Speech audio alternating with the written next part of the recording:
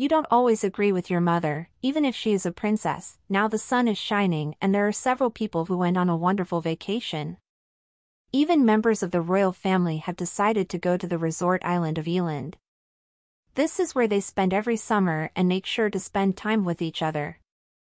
Crown Princess Victoria always celebrates her birthday on July 14th on Eland with her family and all the Swedish people. Victoria's famous concert is always broadcast on SVT in the evening, where you can see several famous artists singing for our Crown Princess on her birthday. She also presents the Victoria Prize, which is awarded annually to one or more athletes who have made significant achievements during the year. This year, hockey player Erik Karlsson received the prestigious award, but in addition to celebrating Victoria's birthday, the royal family usually also tries to take advantage of Eland, such as all the concerts that take place during the summer. Yesterday they were at the sessions in Solliden to hear the children's favorites, Dolly Style and Theoz.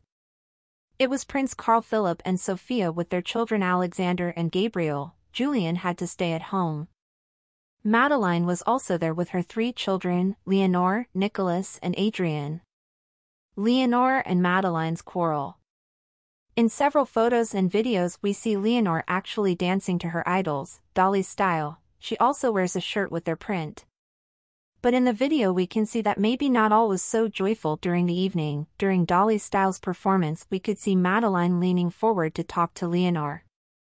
It seemed like she should tell her daughter if anything was unclear.